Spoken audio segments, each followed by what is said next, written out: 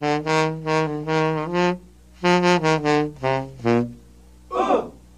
in New Orleans where the blues was born, it takes a cool.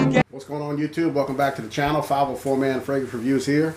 Coming at you with another first impression video. Today, uh, my first impression is going to be Sweet Tobacco Spirits 1821 Man-Made. Uh, I'm a lover of tobacco fragrances and the just the title of this fragrance drew me in. I've never had a chance to put my nose on it before. To be honest with you, I don't even know what the notes are in it. I haven't even looked them up. I know a lot of people in the Facebook groups have gotten this. Um, they love it. Um, I like the way the bottle looks. So I, I did um, get a decant from uh, from Deb over at Swift Scents. Uh, check them out for all your decant needs. I received it today. Um, I have sprayed it on my hand.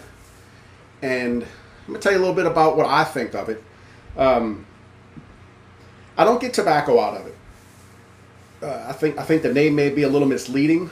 Um, I think you may think you're getting a tobacco out of it. I think it's I think there's tonka bean in it, which I think is what maybe drives it toward a tobacco.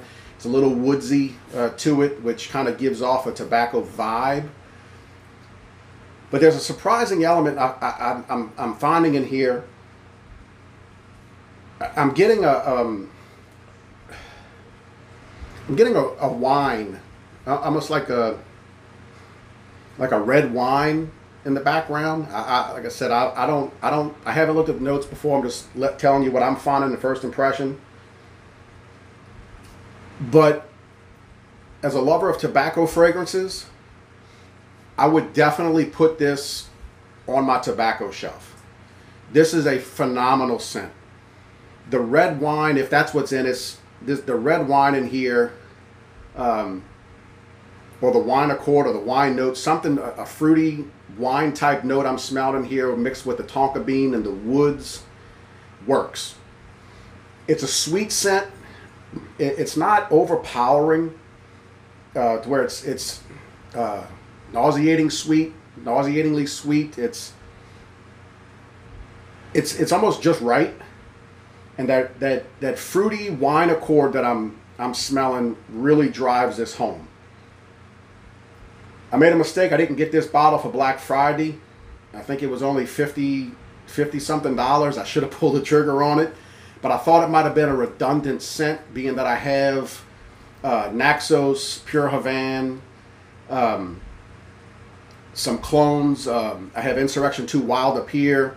So I thought it might have been a redundant buy. That was my mistake. I should have bought that bottle. Uh, I guess I'll learn from that. This is this is on the same lines as those, but it's different. The fruity wine accord that I'm smelling here makes those different makes it different from the ones I just mentioned.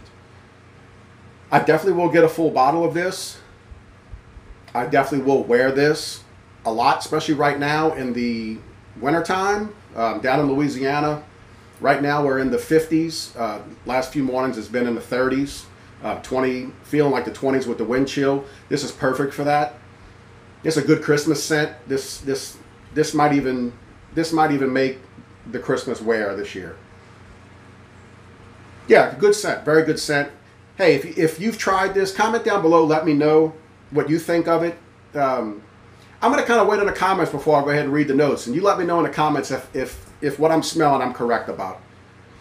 Hey, look, stop. thanks for stopping by. I appreciate it. Always uh, hit the red button down below, subscribe to the channel. Join my Facebook group page. Very fun. Meet a lot of new people. A lot of scent of the day. A lot of, lot of good fragrance talk. Just a lot of good stuff going over there. Follow me on Instagram, 504 Man Reviews. I really appreciate it. I put a lot of content out over there. It's just overall good time. Get together and talk about fragrances. Hey, like I always say, keep smelling good. Thanks for stopping by. I appreciate your time. Peace.